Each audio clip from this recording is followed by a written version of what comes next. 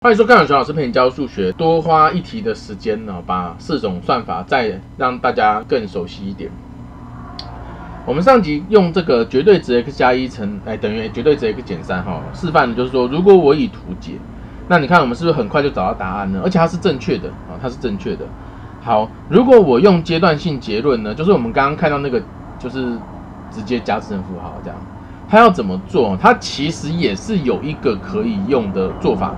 当你发现绝对值 a 会等于绝对值 b 的话，a 其实会等于正负 b。就是说，你绝对值拿掉加正负号的这个动作呢，啊，只需要加在一侧而已。但是我要强调一点，你不能只有加这个正负三哦，它是把整个 x 加三都要刮起来正负这样的意思啦。好，所以说 x 加一其实会变成正负的挂号 x 减三啊，这样子。哦，那所以它有可能会是 x 减三或者负的 x 减三。如果它等于 x 减三，如果 x 加一会等于 x 减三的话，你会得到一个结论是一会等于负三。那这个当然就是哦不合理哦，不成立。那如果它会是这个等于负 x 加三的话，你就会得到一项哦，会得到二 x 等于二啊，所以 x 等于一。那所以答案是 f 等于，可以吗？好，我们来看一下分析法。好，分析法，我们怎么去在不止一个绝对值的情况下使用分析法呢？好，要跟大家讲这点。好，那这个简单来说，就是你每一个绝对值都要讨论到，也就是说，这个绝对值里面啊，是正的还是负的呢？如果是正的的话，我就直接把它拆掉；负的话就要加一个符号，拆掉要加一个符号。这个绝对值的里面是正的还是负的呢？如果我已经知道 x 减三是正的，我可以直接把这个绝对值拿掉。如果我假设它一定是负的，那我就怎么样？拿掉加一个负号，变负 x 加三。好，但是就是说这样子一来，你就会有四种要讨论。正正正负负正和负负，对不对？然而啊，这个我们并不需要写四个，为什么呢？因为有一些会不合理。一条竖线上呢，它被我们这里，你决定这个绝对值里面是正的还是负的，是靠 x 有没有比负一大嘛？因为它等于零的时候是负一嘛，x 是负一，这个等于零的时候 x 是正三嘛，对不对？也就是说，我们的这个哈之后会叫它折点，因为我们后面会带大家画它的图形，它会是折线，哦，所以这个是它的转折点，哦，就是说我们的折点是负一跟三，就好像我们在竖线上点这个负一跟三这样，因为我们的折点是负一跟三，所以它其实会被负一跟三哦，把这条竖线分成三段，大于三，介于负一跟三和小于负一。那我们刚刚说我们会讨论四种嘛，正正正负负正和负负嘛，而这里却只有三段要讨论而已。好，那不是说是耶耶少一段，而是怎么样？要为什么啊？为什么可以少讨论一段呢？因为其实不存在加一是负的，可是减三会是正的这种 x。好，就是说如果 x 加一是负的，所以 x 小于负一的话，那它怎么可能同时还会大于三呢？哦，所以这个是不不可能的，所以实际上只有三个。那我们后面会看到有那种三个绝对值的，也是一样。按理说你三个绝对值要讨论正正正正正负正负正正负负和负正正负正负负负正和负负负八种，可是不需要哦，因为一条竖线被三个点分成四段，其实你只需要讨论四段了。也就是说，那八种里面有四种是不可能的。啊，所以我们在遇到这种问题的时候呢，按照最基本的原理，其实我们是要讨论这些绝对值到底谁正谁负。最基本的原理是这样，可是你会看到老师的操作都不是这样，他会把折点找出来之后，看切几段就讨论这几段，这样可以吗？好的，我们开始讨论。如果 x 比三大，如果 x 比三大的话，那它就会有一个现象。它减三也是正的，它加一也是正的。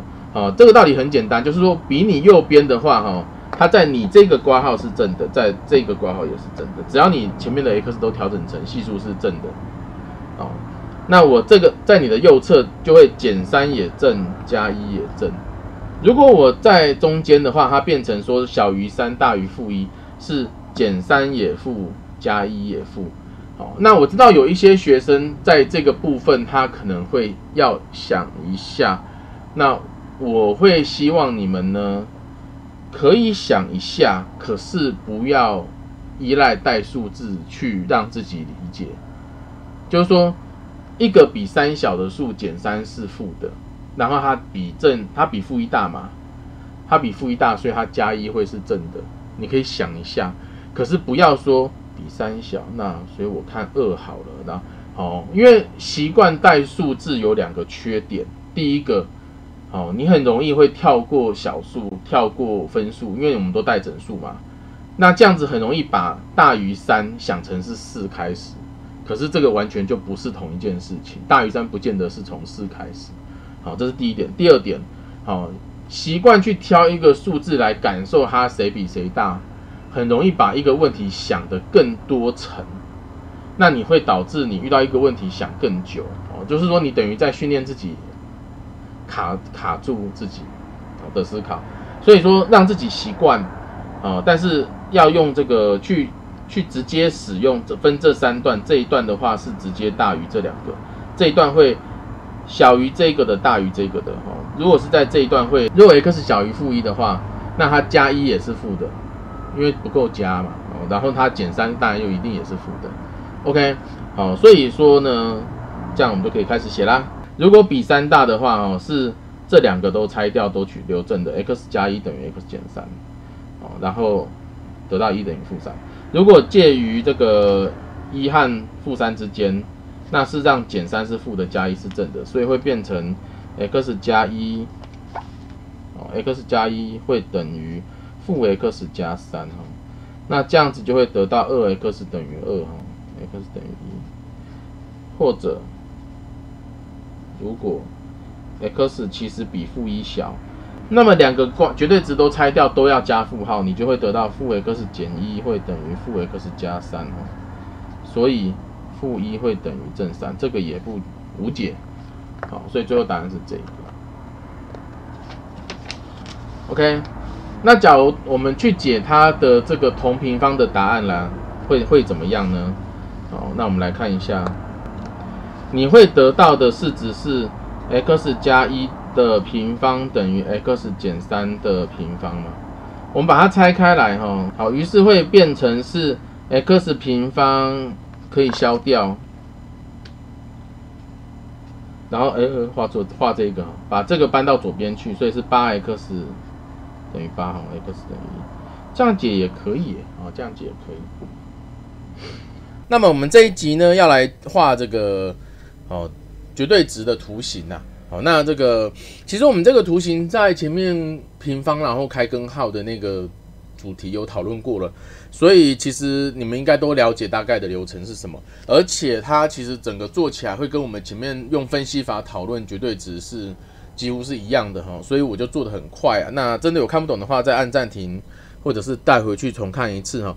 所以今天讨论这个图形的话呢，会按照它里面等于零的时候，x 是负三，和这个等于零的时候，x 是二分之三哈，形成两个就是我们讲折点哈，两个折点。我们就去按照它分析哈，x 小于负三，那这样子的话，这两个绝对值都拿掉的话，加负号哈，所以 y 会等于负 x 减三减二 x 加三，也就是 y 会等于负的三 x。然后如果 x 是负三到这个二分之三之间。y 会等于好，那这样子的话呢？哦，这个竖线上哈，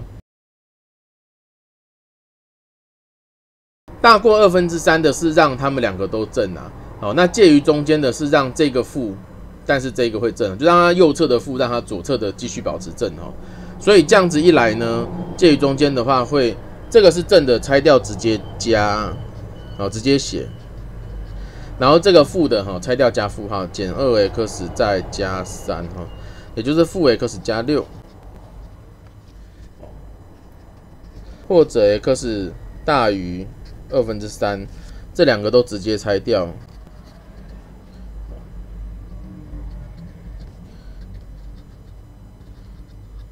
这样子哈，于是去画这个图，然后画 y 等于三 x，非常的懂，y 等于负三 x 哈，然后中间这一条哈，y 会等于负 x 加六，也就是 x 加 y 等于六，它是四十五度的。那我们在前面哈，就是我讲那个平方在开根号的图形的那一集有提到过哈。你如果去联立这两条，就是 y 等于负三 x 和 y 等于负 x 加六，你会解出来的那个 x 值哈，会刚好就是负三呐。就是说负三这一点可以同时让，因为你有没有看到这里？我这里有小于等于负三，你这里也有等于负三哈。就是说负三这一点不是因为我这里写的才这样哈，而是说。这个图形讨论出来就是这样，它在折点的部分会同时让这两个点都成立，所以我们才可以两边都加等号。那也因此呢，同时让它们成立就会是它这两个图形的焦点的位置，也就是你联立出来的解。好，同时让两条方程式都成立，所以这个点会是 x 带负三进去，好，然后 y 会是九，所以这个位置会是负三九。然后这个位置就是它的这个 x 等于二分之三，所以 x 是二分之三的时候呢，会同时让这两条都成立。那这个时候 y 是二分之九。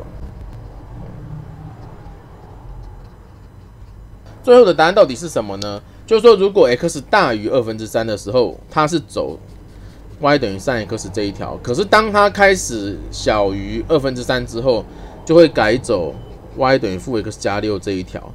然后当它这个小于负三的时候，就会改走 y 等于负三 x 这条，所以是一个折线呢，哦，是一个折线，就是红色的部分，哈，红色的部分，可以吗？这样讲的有点仓促呢。如果你觉得不过瘾的话，我们还有一题，这个看起来比较复杂的，一样哈，你可以按个暂停，自己先做，然后我就先干为敬啦，好，这个。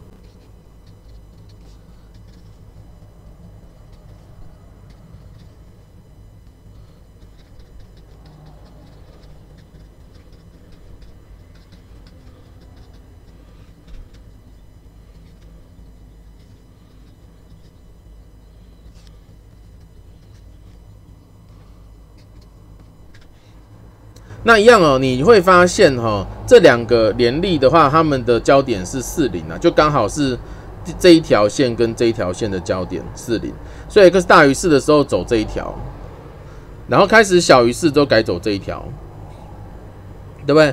然后这两个的焦点在这个它们的二分之三这里哈，所以走到二分之三的时候呢，哦，它是 y 是二分之五哈，改走这一条。然后他们两个的交点在负二负八哦，这是负二负八，所以走到负二负八的时候呢，改改走这一条，所以它有折四折，可以吗？